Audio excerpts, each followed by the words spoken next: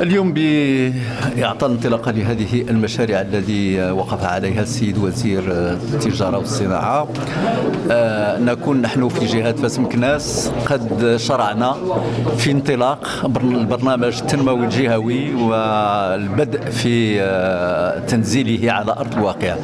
وبطبيعة الحال آه، هذه المشاريع بجوج خصوصا المنطقة منطقة الاتصال الصناعي لهم أهمية كبرى لأن تعيد يعني الثقة للمقاولين وتعيد يعني الثقة في الجهة كمنطقة جذابة للاستثمار وهذا ما نسعى إليه Nous avons eu le plaisir avec euh, le wali de la région et le président de la région euh, de Fez-Meknes de, de, de, faire euh, plusieurs activités euh, dans la région. Nous avons démarré par la zone euh, industrielle de Ain Shgag destinée euh, au cuir et à des activités diverses qui a été aujourd'hui lancée pour euh, le démarrage des travaux.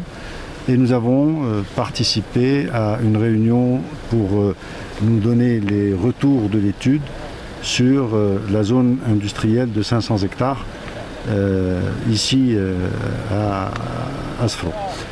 Ce qui est important à retenir, c'est que aujourd'hui, des opportunités sont là, le travail a été fait par la région, par la wilaya, par l'ensemble des acteurs économiques pour faire de cette région un, une locomotive économique et industrielle du royaume.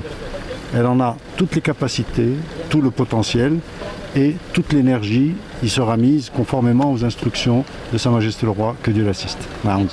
إذا عجبك الفيديو خلينا إعجاب وتعليق. دير أبوني وفعل الجرس باش يوصلك كاع الجديد ديالنا. وما تنساش تتابعنا على جميع مواقع التواصل الاجتماعي.